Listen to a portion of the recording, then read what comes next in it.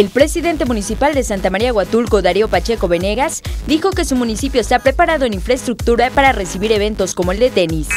Es muy importante para nosotros ser sede de eventos tan importantes como ese torneo internacional de tenis, la verdad, siempre pues en cuestiones de seguridad, de infraestructura, pues algunos este, apoyos que nos piden eh, los organizadores, siempre nosotros desde luego damos lo de acorde a nuestro alcance también porque pues tenemos varias disciplinas, ¿no? Afortunadamente Huatulco lo han estado eligiendo como sede. Con eventos como el Torneo Internacional de Tenis, la costa oaxaqueña se convierte en un atractivo para futuros eventos deportivos, ya que se está trabajando en infraestructura pública.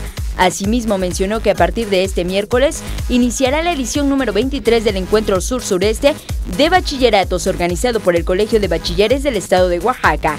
En dicho evento participarán subsistemas hermanos de los estados de Campeche, Chiapas, Guerrero, Quintana Roo, Tabasco, Veracruz y Yucatán.